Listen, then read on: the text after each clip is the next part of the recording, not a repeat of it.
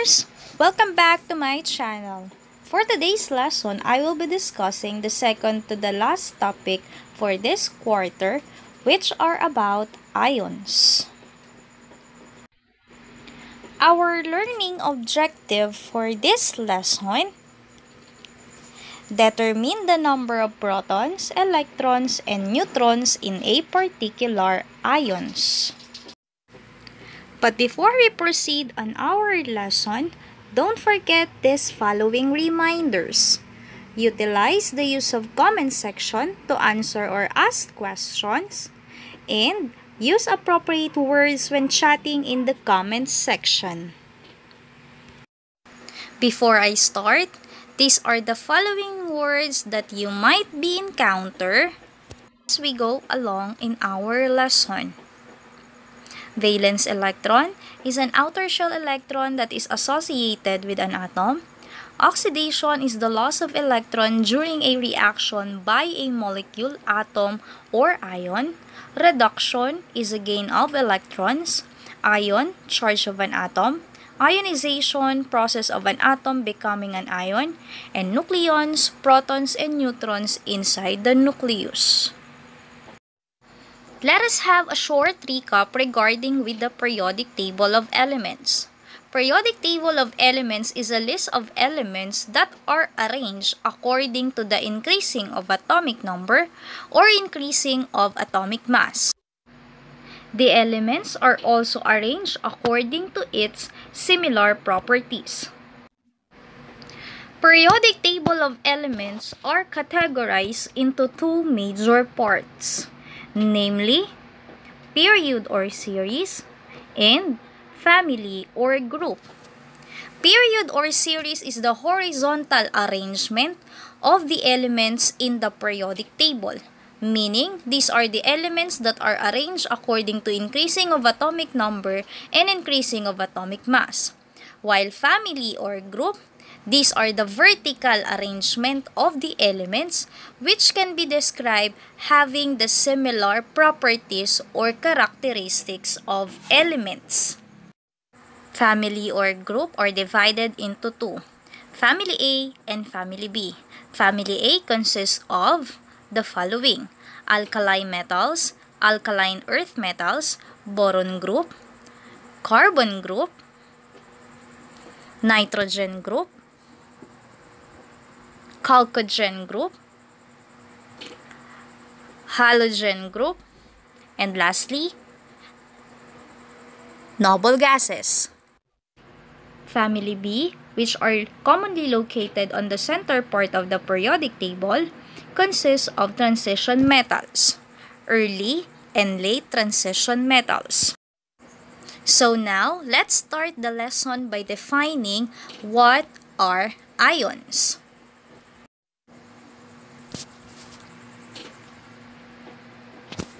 Ion is a charged atom or even a charged molecule.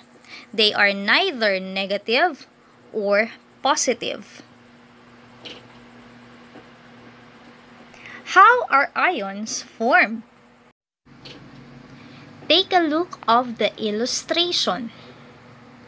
Ions are formed by the addition of electrons or removal of electrons from neutral atoms or molecules, or other ions by combination of ions with other particles. Metal atoms tend to lose electron through the process of oxidation. They also lose electron because of having low electron negativity. Electronegativity is the ability of the atom to attract electrons. When an atom loses an electron, it will form positively charged ion. Therefore, there are more protons than electrons, and an atom gains a positive charge is called cations. Another one. Take a look of the illustration. Non-metal atom tend to gain electrons or electrons from another atom to become negatively charged ions. When an atom gain electrons, it will form negatively charged ion because there are more electrons than protons and an atom gain a negative charge is called anions. Non-metal also described has a high electronegativity. The process of an atom becoming an ion is called ionization. Take note of this image. Remember, the number of electron that gain or lose is called valence. So it is important that you know how to get valence electron in the outermost shell. But don't worry, you can identify the valence electron by simply looking on its family or group. Again class, metal atom tends to lose electron to form a positively charged ion called cation while non-metal atom tend to gain electron to form a negatively charged ion called an ion. So now, let us discuss how to determine the number of electrons, protons, and neutrons in cations and in anions. A neutral atom has the same number of protons and electrons.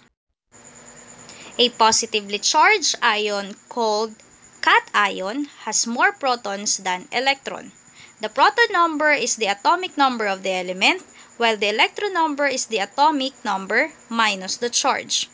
A negatively charged ion called anion has more electrons than protons. Again, the number of protons is equal to the atomic number, while the number of electrons is the atomic number minus the charge. To get the number of neutrons, subtract the atomic number from the mass number.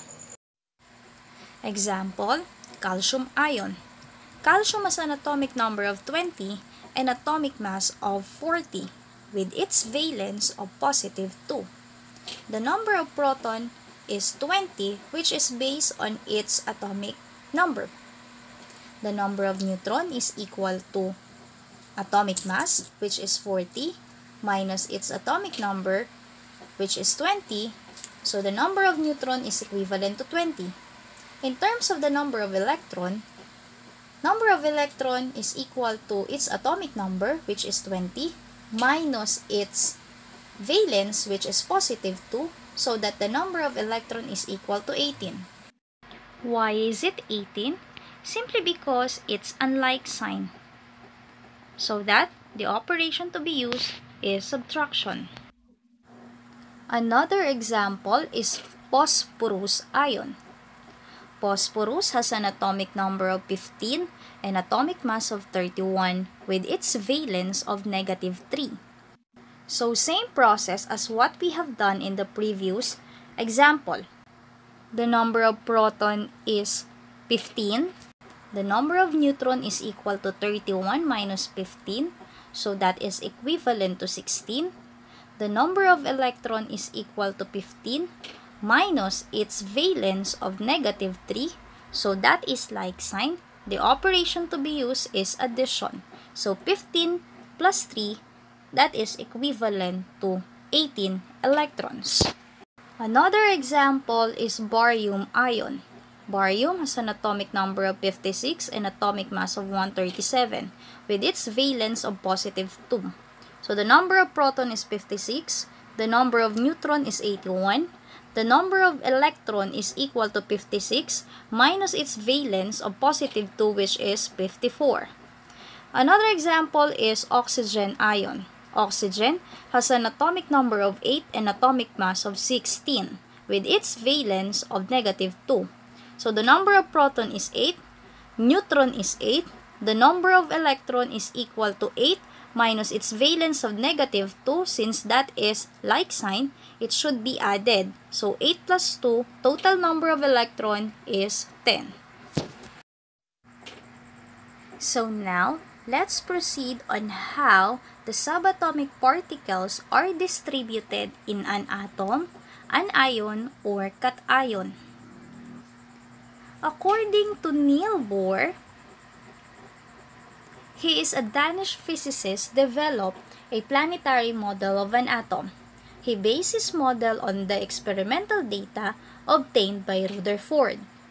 He also explained that each of these orbit or orbital was assigned a certain value.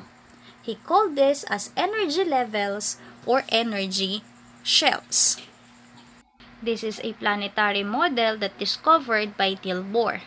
It composed of two major parts, which are the nucleus, where protons and neutrons are located, and the orbital, where electrons are located. The number of orbitals are labeled as K, L, M, and N shell.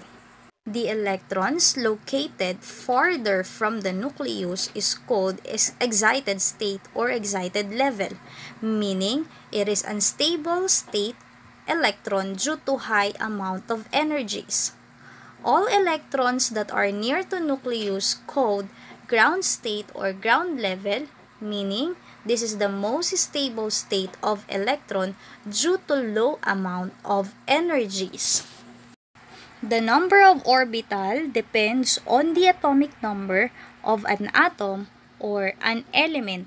Each orbital has a certain maximum amount of electrons.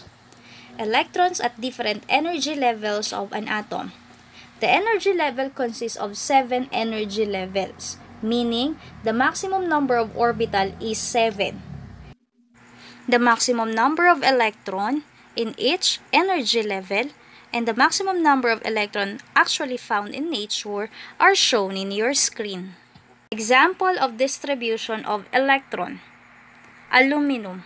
Aluminum has an atomic number of 13 and atomic mass of 27 meaning the number of protons and electrons are equal, which is 13, and the number of neutron is 14. The maximum number of electron in the first orbital is 2, the maximum number of electron in the second orbital is 8, and the maximum number of electron in the third orbital is 18. Since the given electron in aluminum is 13, in the last orbital, only 3 electrons are present. Take note class, the number of orbital represents the period or series of this element, while the number of electrons located in the last orbital represents its valence. In describing the distribution of electron in an ion, we must follow the process of identifying its electron. Example, sodium ion. Sodium has an atomic number of 11 and atomic mass of 23.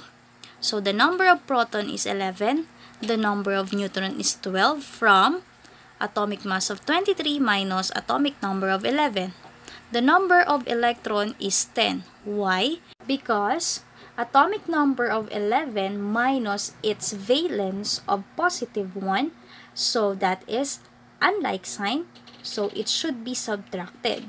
So 11 minus 1, that is equivalent to 10 electrons. So same process, the maximum number of electron in the first orbital is 2. The maximum number of electrons in the second orbital is 8. When you total all the electrons present in sodium ion, that is equivalent to 10. So that's all for today, class. Thank you. I hope you learned something. If you want more science vlog class, don't forget to like, share, subscribe, and turn on the bell for our next science vlog class. See you! Bye!